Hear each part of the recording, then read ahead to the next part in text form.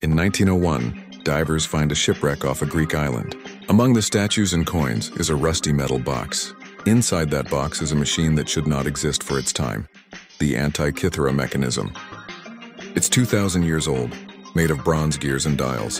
When you turn a handle, the gears move together, predicting the positions of the sun, the moon, and possibly eclipses and planets. This isn't a toy, it's advanced mechanical engineering.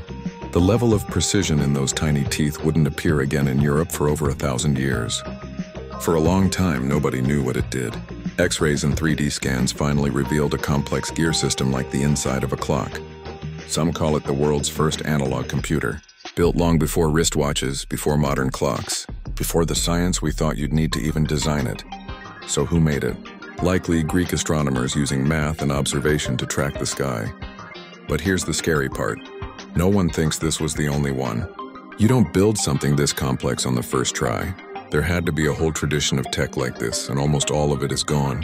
One wreck, one corroded box, one glimpse into a world of ancient precision we barely believed was possible.